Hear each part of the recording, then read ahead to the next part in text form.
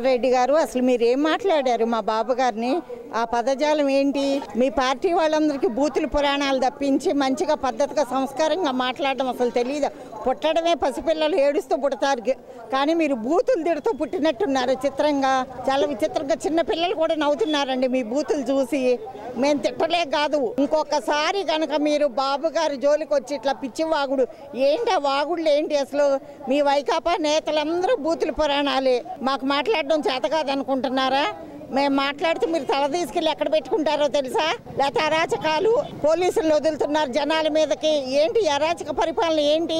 మీరు నిజంగా జనాలు మీకు ఓటేస్తే మీరు గెలిచారా? లేక ఎలా గెలిచారు? మీరు గుండెల మీద చెయ్యేసుకొని చెప్పండి మీరు ఎలా గెలిచారు అసలు? మీ ముద్దులు మీ పరిపాలన మీ చూసి వాళ్ళు ఓట్లు ఎలా గెలిచారో జనాలందరికీ తెలుసు మీరు ఎలా మాట్లాడితే నూట యాభై సీట్లు నూట యాభై సీట్లు.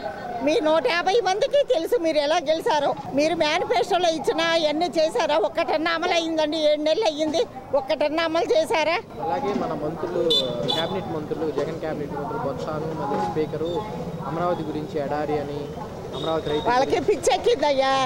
గన్నేరు పప్పులు తిన్నారు బాగా వీళ్ళకి దిట్టంగా చిన్నప్పటి నుంచి.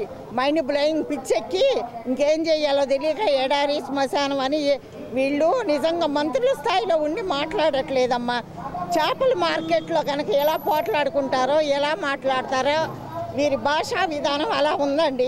ఈ వీడియో గనుక మీకు నచ్చినట్లయితే మా ఛానల్ని లైక్ చేయండి షేర్ చేయండి సబ్స్క్రైబ్ చేయడం మాత్రం మర్చిపోకండి.